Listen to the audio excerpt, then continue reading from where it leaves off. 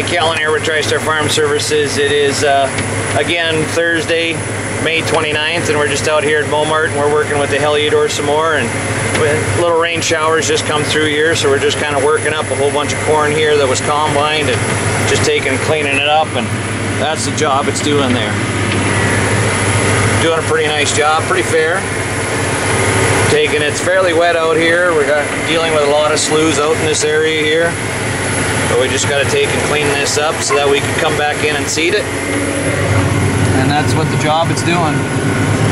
You can just see it's cutting and incorporating it. And we're cruising along at 1940. Ah, you can see a change in there. How are we doing for fuel? What kind of fuel are we using?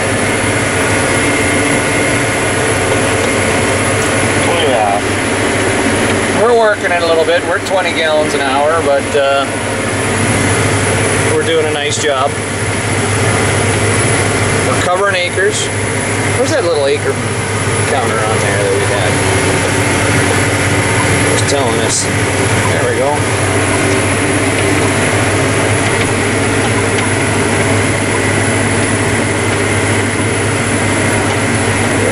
There we go. We're doing 40 acres an hour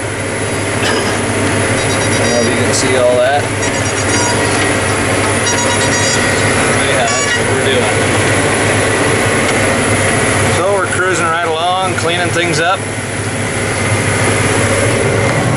This is some standing corn that they weren't able to combine here.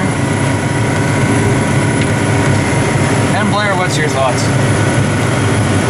He does a remarkable job. Remarkable, eh? He's speechless single pass and we can see right into it. Yeah.